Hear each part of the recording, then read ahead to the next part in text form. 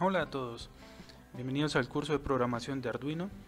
Antes de continuar necesitamos entender cuál es la diferencia entre una señal digital y una señal analógica, ya que el último proyecto lo hicimos con señales digitales, por eso el LED encendía en un color fuera rojo, verde o azul cada vez que pasaba un segundo. Una señal digital es una señal que da un 1 o un 0, un verdadero o un falso. Esto quiere decir que en palabras prácticas, enciende o no enciende, mientras que una señal analógica es una señal constante, que va cambiando, pero es constante. Puede subir hasta el valor máximo o bajar, pero también puede estar en los intermedios, no solamente son unos o ceros.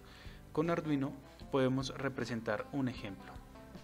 Voy a iniciar la simulación y vemos que la señal digital pasa un segundo y se apaga y se vuelve a prender mientras que la señal analógica es constante. Puede que se apague en algún momento, pero el brillo va a llegar arriba, va a bajar, va a estar en el intermedio. Es una señal que puede estar en cualquier punto entre el pico y el valor cero.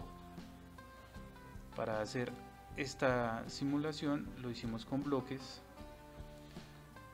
Simplemente pusimos dos LEDs y definimos los bloques de la siguiente forma. Al iniciar, para el pin 13, que es este que está acá, para la señal digital, prende y apaga. Lo tenemos aquí en la parte de abajo, pin 13, primero alta, un segundo baja, prende y apaga, eso es una señal digital.